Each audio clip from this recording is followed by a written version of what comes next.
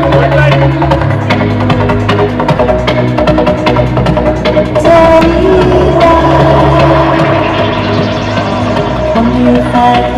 one, back the one person.